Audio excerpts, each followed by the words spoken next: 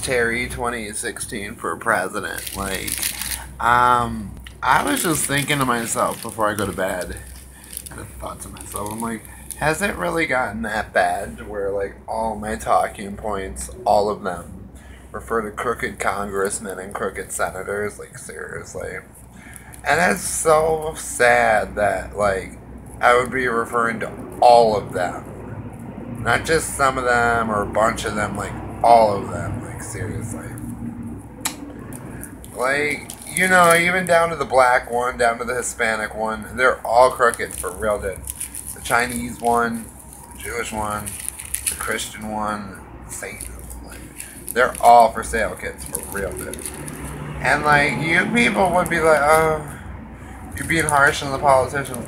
No, like these these are crooked politicians, and that's what a politician is. They're all they're they're intentionally crooked. Like that, they they do it on purpose. Do you really think Hillary Clinton right now, before she goes to bed, feels any guilt about being so crooked and taking money from Goldman Sachs and stuff? No, dude, she sleeps fine.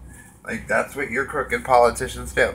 Do you really think Chris Christie loses any sleep at night for shutting down bridges in New Jersey? Or stealing from the state of New Jersey, probably for his own pocket, in some way, shape, or form, or giving his friends favors over small businesses and stuff like that. Of course, he goes to bed with no conscience whatsoever. Same with Hillary Clinton. Do you really think Sarah Palin loses any sleep at night knowing that she's all for big oil and like those people push her campaigns and she's got ties with the Koch brothers and stuff like that? Do you really think that that bitch loses Sarah Palin?